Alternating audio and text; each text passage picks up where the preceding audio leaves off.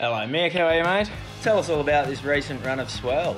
Yeah, it was fun. It was the first one that hasn't been blown out. We've had a couple of swells at the start of the year that had really high expectations and nothing really happened. Where this one was, yeah, we had two or three days right at the start that were just really, really dreamy. Um, no wind, um, and just as, as picture perfect as it gets. Pretty much all the boys were out, which and girls actually, so it was cool. The first part of it was like an east, southeast swell. At the start was really dreamy and picturesque, um, and that was all. The focus was on snapper. Do you know the sand pumping guys? I got a button at home. it's pretty much any time we get a south swell, um, and there's sand over on the um, on the Fingal side, they'll just hit the button. It's on.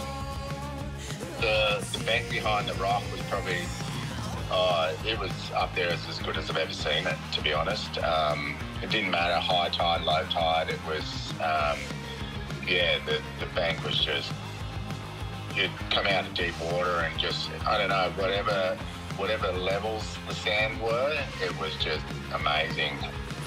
Tell us about Kelly. Is he another surfer who just gets his share of waves and baitings, or does he have goat privileges? He sits in the lineup just like everyone else. I think everyone's pretty stoked to see him out. I guess people, you know, when the goat starts paddling for a wave, um, people sort of look in amazement going, oh shit, he's here. so they pull back. You coming out of that? Yeah, yeah. I, I came out, I had to come out through the lip of this guy was literally on the face, not duck diving. Yeah, right. I was seeing you at one point, you were that deep. It was just like I didn't want to kill the guy. Yeah. Because the last section went over me, and Yeah. I just judged like he was exactly. I would have hit him here, like Right. on his back. Right, because I looked back, because I, I was filming it like this. Did you see my leg? And I was like, I thought I. Oh, yeah, I did see I you. thought I f***ed it for you, and I was no, like, it just went like this. And Yeah. It didn't matter. Some of the beatings were crazy. Is that was there backwash, or are people just trying to sit deeper now to get the jump on the crowd, or? With people sitting deeper, yeah, because there was reverse rip for those first few days, people were getting sucked around the rock a lot deeper than, than normal.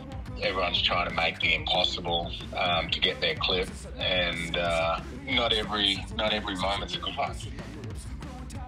How has the crowd been? Has it reached max capacity, or it still seem to get crazier? Oh man, it, it's snapper.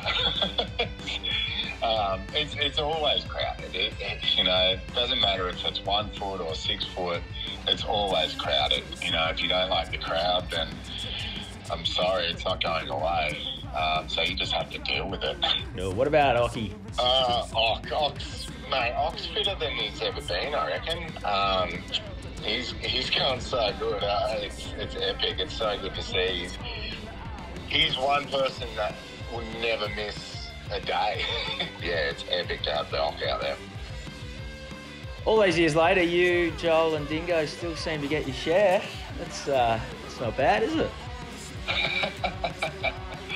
Yeah, no one's uh, yeah, no one's kicked us out, out from behind the rock just yet. Um, I guess I guess if us three are out, no one else is really getting waves though because we're so competitive with each other. We just come around each other. So um, no, it, it, there's, there's some good kids that are um, that are in the lineup.